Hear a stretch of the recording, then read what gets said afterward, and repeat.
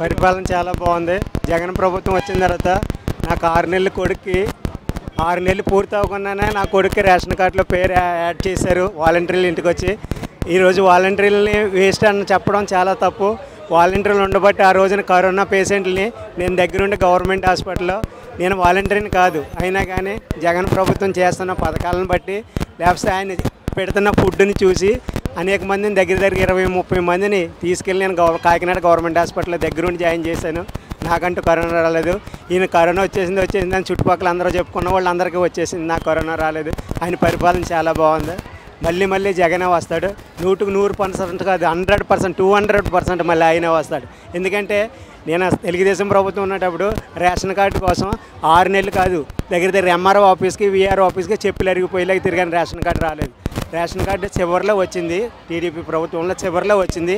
కానీ నా కొడుకు ఆరు నెలలు పూర్తి అవ్వకుండా నా రేషన్ కార్డులో నా కొడుకు పేరు యాడ్ అయ్యి ఆరో నెలల నుంచి నా కొడుకు బియ్యం రేషన్ బియ్యం నా కొడుకు ఇవ్వడం నాకు ఇవ్వడం నా కుటుంబం ఇవ్వడం ఓన్లీ జగన్ వల్లే జరిగింది. జై జగన్. పరిపాలన బాగుంది అంటున్నారు ఆ. మరి జగన్ పరిపాలన పిచ్చోడి చేతిలో రాయలాగా ఉందని చెప్పి ప్రతిపక్షాలు అంటున్నాయి ప్రతిపక్షాలు అంటే ఏదో ఒకటి అనకుండా మరి వాళ్ళు ఎలా క్రికెట్లోకి ఎక్కుతారు వాళ్ళని ఎలా మాట్లాడే అవకాశం అవుతుంది వాళ్ళ పేరు చెప్పుకోవాలంటే టీవీల్లో కనపడాలంటే ఏదో ఒకటి ముళ్ళెట్టాలి అలా చెప్పడం కోసమే వాళ్ళు అలా పెడతారు. ఆ, రాష్ట్రాన్ని నాశనం చేశాడు అభివృద్ధి కదా. అభివృద్ధి ఉంది. ఎందుకు లేదు? అభివృద్ధి ఉంది. అభివృద్ధి ఉంది.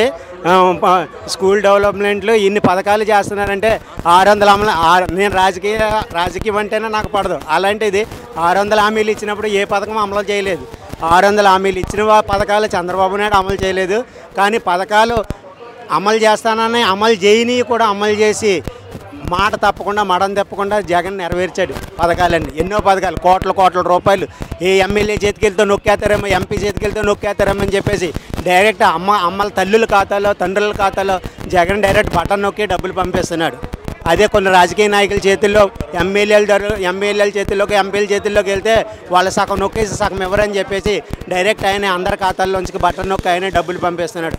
ఇన్ని వేల కోట్లు జనాలకు పంచిపెట్టాడంటే సీఎం అన్న తెంగరోడ్ అండి ఏ నాయకుడు ఏ రాజకీయ నాయకుడు కూడా ఇన్ని వేల కోట్లు ఇన్ని పథకాలు ఒక్కొక్క పథకానికి కోట్లు కోట్లే వందల వేల కోట్లు పథకాలు అమలు చేశారంటే ఏ నాయకుడు అమలు చేశాడో చెప్పమనండి.